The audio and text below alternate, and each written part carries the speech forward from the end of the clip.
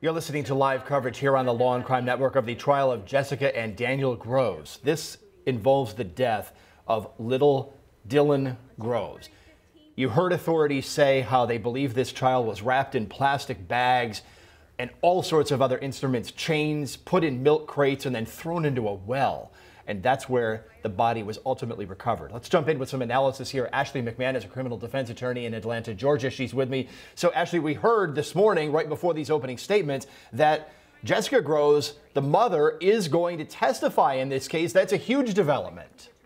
Yes, this is very unusual. So, um, typically, you know, if I have a couple, right, let's say obviously represented by different attorneys, I, my advice to one of the parties is going to be hey, look, testify against the other person in this case. Um, that's kind of going to be the only way out of this, I think, for you. I mean, you can just tell by listening to the prosecution's opening statement. She is really throwing Jessica Groves under the bus with the fact that, you know, she was so intoxicated on drugs that the uh, hospital couldn't even administer any medication to her uh, when she was giving labor or in labor because they didn't know what would affect the baby. And that the, this poor baby Dylan, 12 hours after being born, just 12 hours, already started showing signs of withdrawal symptoms from what we now know is methamphetamines.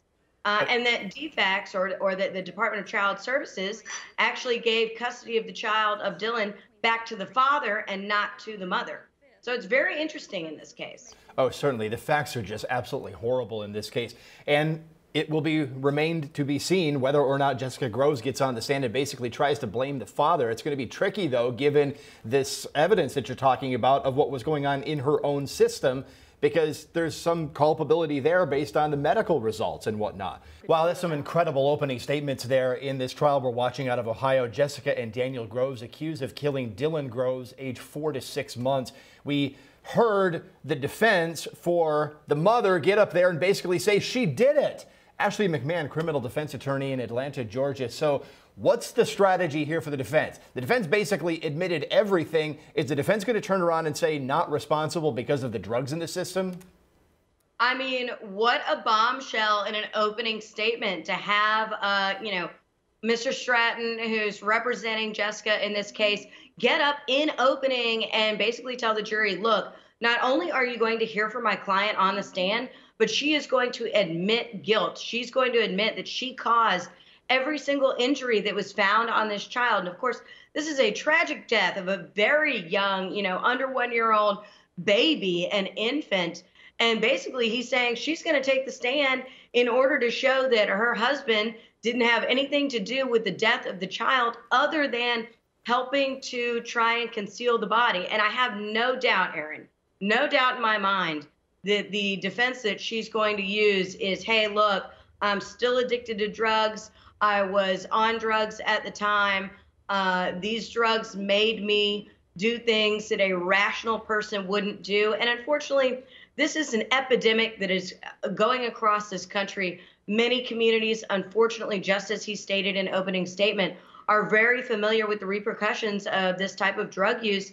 You know, there are grandparents raising grandchildren with the parents incarcerated or even worse, dead from overdoses from these kind of chemicals. And so I think I think this defense attorney did an amazing job with his opening statement and really set the stage uh, for the jury to be able to find some sympathy for Jessica and possibly even exonerate the father in this case. Okay, so I mean, is this basically a back and forth between the mother and the father where one agreed to take the fall here? Possibly, but you know what? It you can't force anybody to testify and you can't force a husband and wife to testify against each other.